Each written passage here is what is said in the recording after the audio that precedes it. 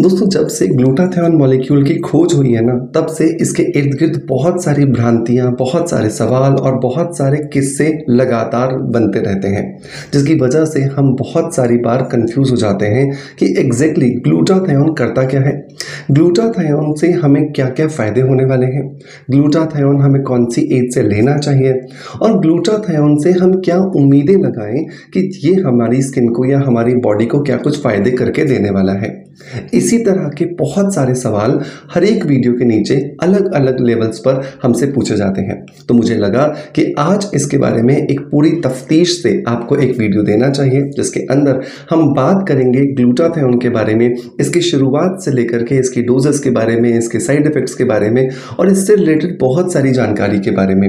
तो अगर आप भी अपनी स्किन को हेल्दी बनाना चाहते हो और ग्लूटाथियोन लेने के बारे में सोच रहे हो या आपको लगता है कि ये सेफ़ होगा, नहीं होगा, कितनी डोज लेनी चाहिए, या इसी तरह के बहुत सारे सवाल आपके दिमाग में हैं तो आप सही जगह पर हो, आपको वीडियो लास्ट तक ज़रूर देखना चाहिए। और मैं उम्मीद करता हूँ कि ये देखने के बाद आप अपने लिए सही डिसीज़न ज़रूर ले पाओगे। सो देर नहीं करते हैं दोस्तों, शुरू करते हैं आज के वीडियो को। दोस्तों, जिस तरीके से ग्लूटाथियोन आज पॉपुलर हो रहा है स्किन वाइटनिंग के लिए बेसिकली इसकी खोज इस तरीके से हुई ही नहीं थी। ग्लूटाथियोन जो था, वो एक बहुत ही ज़्यादा पावरफुल एंटीऑक्सीडेंट के तौर पर खोजा गया था। एक एंटीऑक्सीडेंट हमारे शरीर में बनने वाले जितने भी फ्री रेडिकल्स होते हैं, उनको कंट्रोल करने का काम करता है, जिसकी वजह से हमारे शरीर पर उन फ्री रेडिकल्स की वजह से नेगेटिव इफ़ेक्ट नहीं आता। और हमारी स्किन को, हमारे शरीर के अंदर जितनी कोशिकाएँ हैं, उन सभी को एजलेस रखा जा सकता है। एज बढ़ने के साथ साथ ना सिर्फ़ हमारी स्किन बूढ़ी होती है, बल्कि शरीर का हर एक अंग बूढ़ा होता है। और शरीर के उस हर एक अंग को बूढ़ा होने से रोकने के लिए, उसके अंदर एनर्जी लेवल मेंटेन करने के लिए, थकान को रोकने के लिए, नींद को बेहतर बनाने के लिए, और अपनी जो भी क्रियाएँ, प्रतिक्रियाएँ हम रोज़ाना की लाइफ में करते हैं, उन्हें अच्छे रूप से करने के लिए ग्लूटाथायोन की खोज की गई थी। और ये देखा गया कि जिन लोगों पर रिसर्च चल रहा था, जब वो इसका इस्तेमाल कर रहे थे तो उन्हें इंटरनल तो बहुत सारे बेनिफिट्स मिल रहे थे। वो एनर्जेटिक अनुभव कर रहे थे। उनकी जो थकान थी, वो बहुत कम हो रही थी। वो बहुत अच्छे से अपने डिसीज़न ले पा रहे थे। नींद बहुत अच्छी हो रही थी। और जो अपने रूटीन का जो प्रोसेस होता है, वो भी अच्छे से कर पा रहे थे। लेकिन साथ के साथ में ये भी देखा गया कि उनकी जो स्किन का कलर है, वो भी धीरे धीरे लाइट हो रहा है। उनके स्किन के कलर्स में छः हफ्तों के अंदर एक से दो शेड का लाइटनिंग इफ़ेक्ट देखा गया। और यहीं से ही एक शुरुआत हुई ग्लूटाथायोन को फेयरनेस लेने के लिए इस्तेमाल करने के लिए। मतलब कि अगर हम अपनी स्किन को फेयर करना चाहते हैं तो हम ग्लूटाथायोन का इस्तेमाल कर सकते हैं। लेकिन क्या ग्लूटाथायोन लेने से सिर्फ़ हमारी स्किन को फेयरनेस मिलेगी, या हमारे शरीर में और भी कुछ बेनिफिट्स होने वाले हैं? तो दोस्तों फेयरनेस जो है ना, वो तो इसका एक साइड इफ़ेक्ट के तौर पर आप कह सकते हो। मतलब हमने ली दवा किसी और चीज़ के लिए थी, उसके बेनिफिट्स तो मिले ही मिले। साथ के साथ में हमें फेयरनेस भी मिल गई। तो ग्लूटाथायोन अगर आप लेते हैं तो डेफिनेटली आपके एनर्जी लेवल को अच्छा करेगा। शरीर के अंदर जितनी भी कोशिकाओं की रोज़मर्रा की लाइफ में टूट फूट होती है रिपेयरिंग की ज़रूरत होती है, उसको रिपेयर करेगा। नींद बेहतर करेगा, जोड़ों का दर्द कम करेगा और आपकी जो थकान हो जाती है, उसे भी कम करने में आपकी मदद करेगा। अब अगला सवाल आता है कि, सर, हमें इसे लेना कितनी डोज में चाहिए? तो एक व्यक्ति के लिए, जो कि 16 साल से ऊपर है, ऊपर वो किसी भी एज ग्रुप में हो सकता है, उसके लिए एक हज़ार एम एक दिन की डोज होती है। अब इस डोज को हमेशा आप ध्यान रखो कि दो टुकड़ों में ही लीजिए। मतलब एक बार 500 सौ ले लिया, एक बार आपने 500 सौ ले लिया। इसको ऐसे आप समझो कि अगर आप सुबह, दोपहर और रात का खाना एक साथ खाना चाहो तो शायद हो सकता है कि आप दबा करके खा भी लोगे। लेकिन क्या आपका डाइजेस्टिव सिस्टम उसको अच्छे से पचा पाएगा? तो डेफिनेटली नहीं। हो सकता है आपको कॉन्स्टिपेशन हो जाए, हो सकता है आपको वॉमिटिंग हो जाए, हो सकता है आपको लूज मोशन हो जाए। इसीलिए हम दिन के तीन से चार टुकड़ों में मील्स को पूरा करते हैं, खाने को खाते हैं, ताकि शरीर उसे अच्छे से डाइजेस्ट कर सके। बिल्कुल वैसे ही, जब भी हम ग्लूटाथेन लेते हैं तो मार्केट में आपको 1000 हज़ार के कैप्सूल्स भी अवेलेबल हैं 500 सौ के कैप्सूल्स भी अवेलेबल हैं। तो हमेशा आप 500 सौ को चूज़ कीजिए और उसका एक कैप्सूल सुबह और एक कैप्सूल शाम को लीजिए, ताकि दोनों टाइम में आप उसे बहुत अच्छे से एब्जॉर्ब कर पाओगे। तीसरा सवाल आता है, क्या सर इसके साथ हमें विटामिन सी लेना ज़रूरी है? यस आप जब भी ग्लूटाथियोन लोगे तो आपको उसके साथ में विटामिन सी ज़रूर लेना चाहिए, तभी आप उसको एब्जॉर्ब कर सकते हो। क्योंकि विटामिन सी जो है, वो एक एंटीऑक्सीडेंट का काम करता है। साथ के साथ में वो आपकी बॉडी के अंदर ग्लूटाथियोन के एब्जॉर्प्शन को बढ़ाता है। तो बहुत सारी कंपनीज़ जो है, वो ग्लूटाथियोन अलग देती हैं। आज मैं आपको एक कंपनी के बारे में बता रहा हूँ, जो ग्लूटाथायोन के अंदर ही आपको विटामिन सी मिक्स करके देती है, जिसकी वजह से आपको विटामिन सी अलग से लेने की ज़रूरत नहीं है। दोस्तों, मैं बात कर रहा हूँ वेलनेस बीट के ग्लूटाथायोन कैप्सूल्स के बारे में। इन प्यारे प्यारे कैप्सूल्स को जिन्हें आप स्क्रीन पर देख पा रहे हैं, इनके अंदर ही आपको 500 सौ ग्लूटाथायोन मिलता है और इन्हीं के अंदर ही आपको विटामिन सी भी मिलता है, जिसकी वजह से आपको अलग से विटामिन सी लेने पर खर्चा नहीं करना होता। और एक ही कैप्सूल से आप आपके शरीर को ग्लूटाथियन और विटामिन सी दोनों के बेनिफिट्स दे सकते हो। अब अगला सवाल आता है कि, सर, हमें इसे कितने समय तक के लिए लेना चाहिए?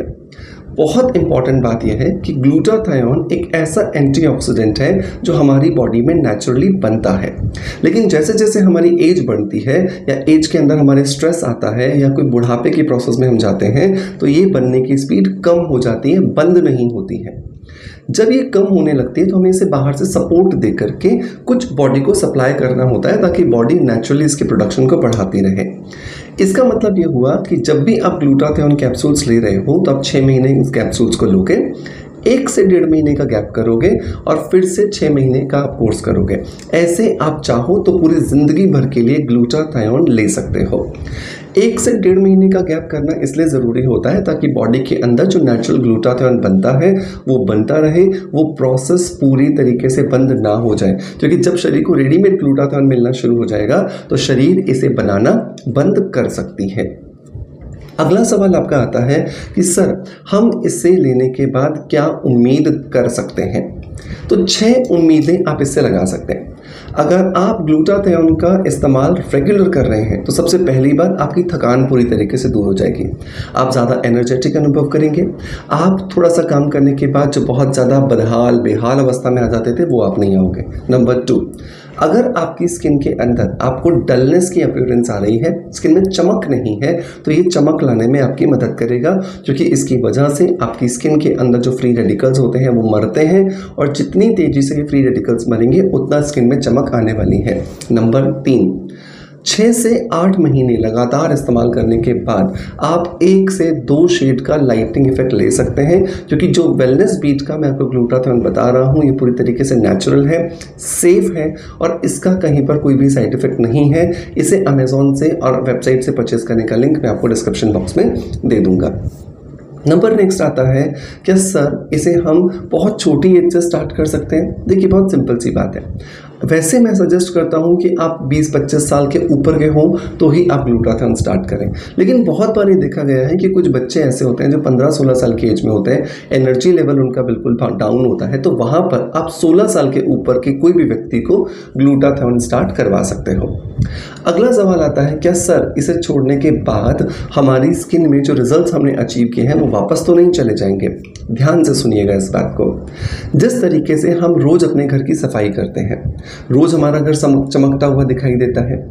लेकिन किन्हीं दिनों में अगर हमने सफ़ाई नहीं की तो घर में गंदगी आती ही है और वो गंदगी हमें जमा होती हुई दिखती है। बिल्कुल वैसे ही हमारे शरीर के अंदर जो फ्री रेडिकल्स बनने की प्रक्रिया है, वो लगातार चलती है।